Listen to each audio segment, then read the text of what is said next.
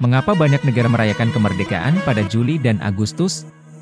Dalam video kali ini, kita akan membahas mengapa banyak negara memilih bulan Juli dan Agustus untuk merayakan kemerdekaan mereka, menurut para ahli sejarah.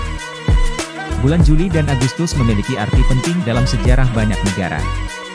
Beberapa alasan utamanya adalah kondisi cuaca yang menguntungkan dan peristiwa penting yang terjadi pada musim ini.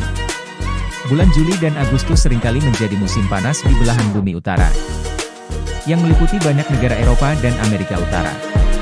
Kondisi cuaca yang hangat dan cerah menciptakan lingkungan yang cocok untuk perayaan besar-besaran dan aktivitas luar ruangan, seperti parade dan pesta rakyat. Selain itu, banyak peristiwa penting dalam sejarah kemerdekaan terjadi pada bulan-bulan ini.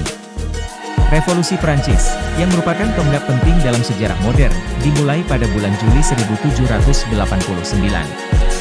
Di Amerika Serikat, Hari kemerdekaan dirayakan pada tanggal 4 Juli sebagai kenangan akan deklarasi kemerdekaan tahun 1776.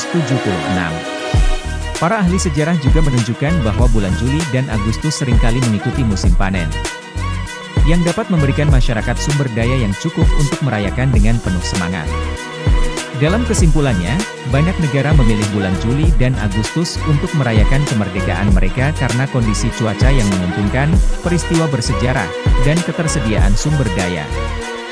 Ini adalah waktu yang tepat bagi masyarakat untuk bersatu dan merayakan nilai-nilai kebebasan dan kemerdekaan mereka.